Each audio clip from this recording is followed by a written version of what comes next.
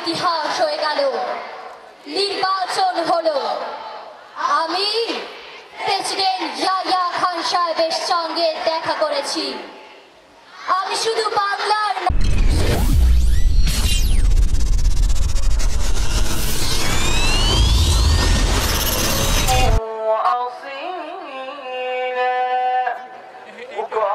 হিসাবে বঙ্গবন্ধুর চেতনায় সভাপতি অ্যাডভোকেট সাইফুল ইসলাম অধ্যাপক আলমগীর কবির এবং দেশ পত্রিকা শ্রেষ্ঠ সন্তান।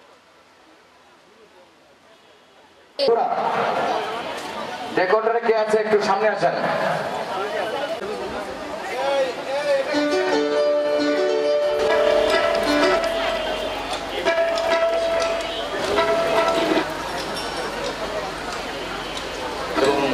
বৃন্দ আপনারা সাইডে চলে যাবেন। এই ক্যাম্পাসটা ফাঁকা থাকবে। শুধু কাঠধারী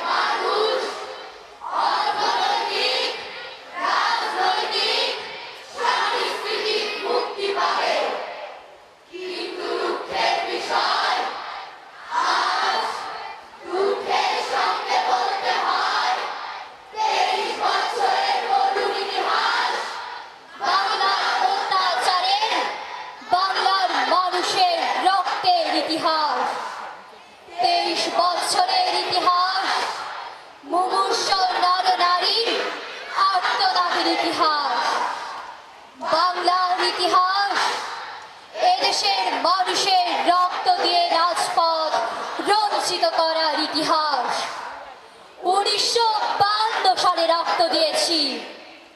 উনিশশো চুয়ান্ন সালে নির্বাচনে জয়লাভ করেও আমরা গদিতে বসতে পারি না উনিশশো আটান্ন সালে আইয়ুব খান মার্শাল্লাহ জারি করে দশ বছর পর্যন্ত আমাদের গোলাম করে রেখেছে। উনিশশো ছেষট্টি সালে দফার আন্দোলনে সাতই জুনে আমার ছেলেদের গুলি করে হত্যা করা হয়েছে। উনিশশো উনসত্তরের আন্দোলনে আইয়ুব খান যখন ইয়াহিয়া খান সাহেব সরকার নিলেন, তিনি বললেন, দেশের শাসনতন্ত্র দেবেন, গণতন্ত্র দেবেন, আমরা মেনে নিলাম। ইতিহাস হয়ে গেল। নির্বাচন হলো। আমি প্রেসিডেন্ট খান সাহেবের সঙ্গে দেখা করেছি। আমি শুধু বাংলার নয়, পাকিস্তানের মেজরিটি পার্টির নেতা হিসাবে তাকে অনুরোধ করলাম, পনেরোই ফেব্রুয়ারি তারিখে আপনি জাতীয় পরিষদের অধিবেশন দেন। তিনি আমার কথা রাখলেন না। তিনি রাখলেন ভুট্টো সাহেবের কথা। তিনি বললেন, প্রথম সপ্তাহে মার্চ মাসে হবে। আমরা বললাম, ঠিক আছে, আমরা অ্যাসেম্বলিতে বসবো। আমি বললাম, অ্যাসেম্বলির মধ্যে আলোচনা করব। এমনকি আমি এ পর্যন্ত বললাম, যদি কেউ ন্যায্য কথা বলে আমরা সংখ্যায় বেশি হলেও একজন যদিও সে হয়, তার ন্যায্য কথা আমরা মেনে নেব। যারা ভুট্টো সাহেব এখানে এসেছে ডেকেছিলেন আলোচনা করলেন বলে গেলেন যে, আলোচনার দরজা বন্ধ না, আরও আলোচনা হবে। তারপর অন্যান্য নেতাদের সঙ্গে আলোচনা করলাম। আপনারা আসুন বসুন আমরা আলাপ করে শাসনতন্ত্র তৈয়ার করব। তিনি বললেন, পশ্চিম পাকিস্তানের মেম্বাররা যদি এখানে আসে, তাহলে কষাই কসাইখানা হবে অ্যাসেম্বলি। তিনি বললেন, যে যাবে, তাকে মেরে ফেলে দেওয়া হবে যদি কেউ অ্যাসেম্বলিতে আসে তাহলে পেশর থেকে করাচি পর্যন্ত দোকান জোর করে বন্ধ করা হবে আমি বললাম অ্যাসেম্বলি চলবে তারপর হঠাৎ এক তারিখে অ্যাসেম্বলি বন্ধ করে দেওয়া হলো ইয়াহিয়া খান সাহেব প্রেসিডেন্ট হিসেবে অ্যাসেম্বলি ডেকেছিলেন আমি বললাম যে আমি যাব ভুট্টো সাহেব বললেন তিনি যাবেন না পঁয়ত্রিশ জন সদস্য পশ্চিম পাকিস্তান থেকে এখানে আসলেন তারপর হঠাৎ বন্ধ করে দেওয়া হলো। দোষ দেওয়া হলো বাংলার মানুষকে, দোষ দেওয়া হলো আমাকে। বন্ধ করে দেওয়ার পর এদেশের মানুষ প্রতিবাদ মুখর হয়ে উঠল। আমি বললাম, শান্তিপূর্ণভাবে আপনারা হরতাল পালন করেন। আমি বললাম, আপনারা কলকারখানা সব কিছু বন্ধ করে দেন। জনগণ সারা দিল। আপন ইচ্ছায় জনগণ রাস্তায় বেরিয়ে পড়ল।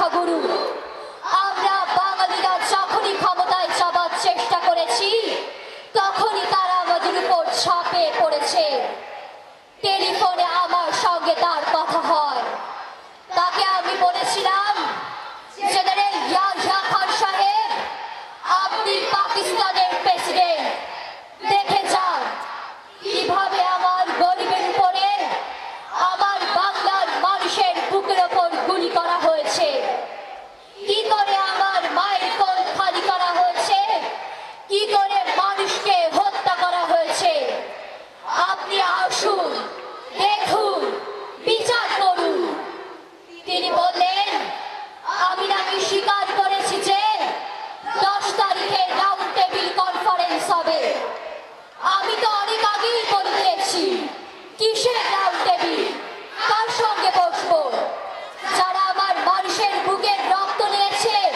তাদের সঙ্গে বসবো হঠাৎ আমার সঙ্গে পরামর্শ না করে পাঁচ ঘণ্টার গোপনে বৈঠক করে যে বক্তৃতা তিনি করেছেন সমস্ত দোষ তিনি আমার উপর দিয়েছেন বাংলার মানুষের উপর দিয়েছেন ভাইরা আমার। পঁচিশ তারিখে অ্যাসেম্বলি কল করেছে। রক্তের দাগ শুকায় নাই। আমি দশ তারিখে বলে দিয়েছি যে, ওই শহীদের রক্তের উপর পাড়া দিয়ে আরটিসিতে মুজিবুর রহমান যোগদান করতে পারে না। অ্যাসেম্বলি কল করেছে। আমার দাবি মানতে হবে প্রথম সাময়িক আইন মার্শাল্লাহ উইথড্র করতে হবে সমস্ত সামরিক বাহিনীর লোকদের ব্যারাকে ফেরত দিতে হবে যেভাবে হত্যা করা হয়েছে তার তদন্ত করতে হবে আর জনগণের প্রতিনিধির কাছে ক্ষমতা হস্তান্তর করতে হবে তারপর বিবেচনা করে দেখব আমরা অ্যাসেম্বলিতে বসতে পারব কি পারব না এর পূর্বে অ্যাসেম্বলিতে বসতে আমরা পারি না। আমি আমি প্রধানমন্ত্রী তো চাই না। আমরা দেশের মানুষের অধিকার চাই। আমি বলি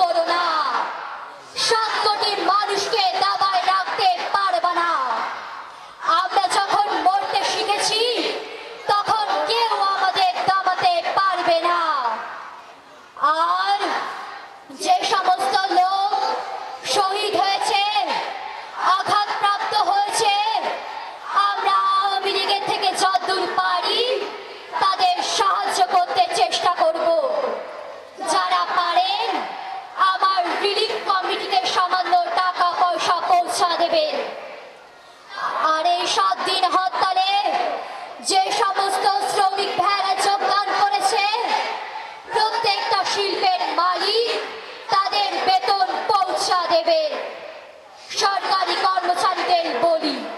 আমি যা বলি, তা মানতে হবে। যে পর্যন্ত আমার দেশের মুক্তি না হবে, ততদিন খাজনা ট্যাক্স বন্ধ করে দেওয়া হলো কেউ দেবে না। শুনুন মনে রাখবে, শত্রু ঢুকেছে। নিজেদের মধ্যে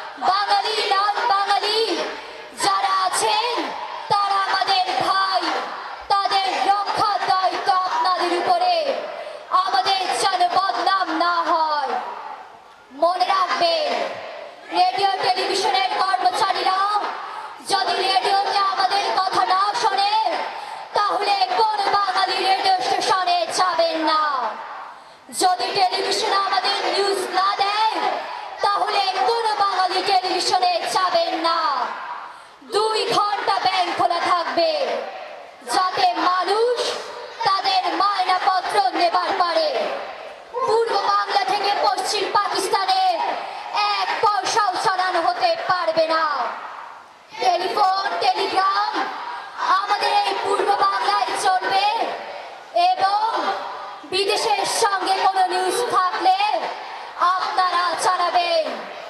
কিন্তু যদি এদেশের মানুষকে খতম করার চেষ্টা করা হয়, বাঙালিরা বুঝে সুঝে কাজ করবেন প্রত্যেক গ্রামে, প্রত্যেক মহল্লায় আওয়ামী লীগের নেতৃত্বে সংগ্রাম পরিষদ গড়ে তোলো।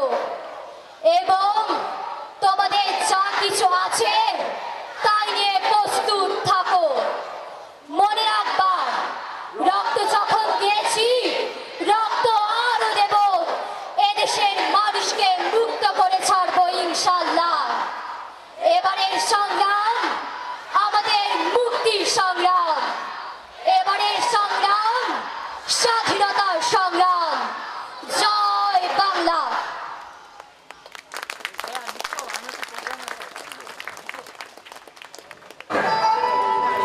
দিচ্ছি।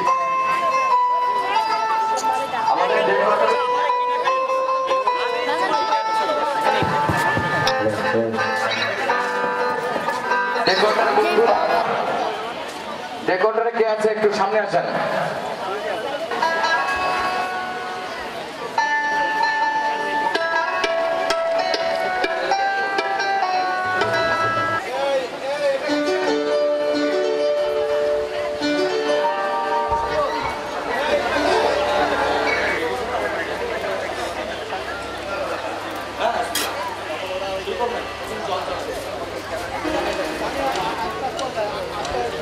যারা আসছেন, মেয়েদের, লাইনে মেয়েদের।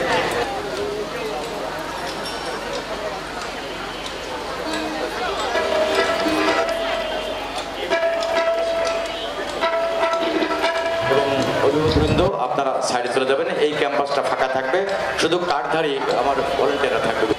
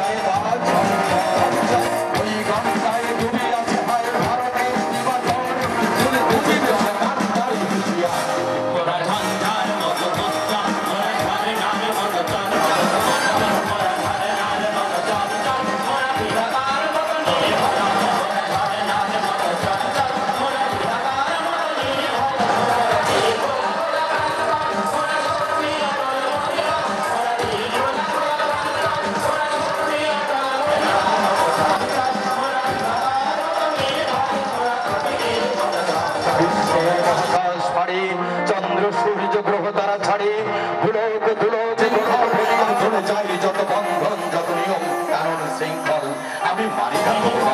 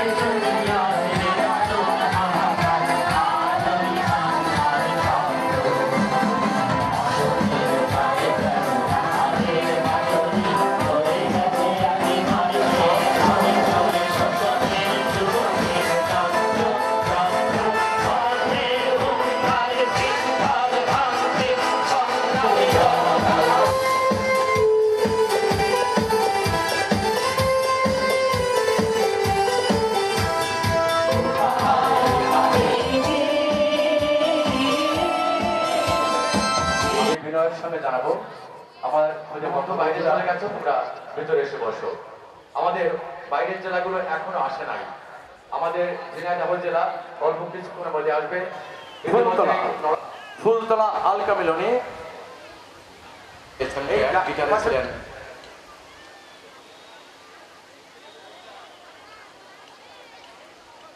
আজম এবং রাতুল তবলায় বাপ্পি সরকার। সমস্ত টিভিতে ধারণ করা হবে এবং হচ্ছে সরাসরি সম্প্রচার করছে এই মুহূর্তে con.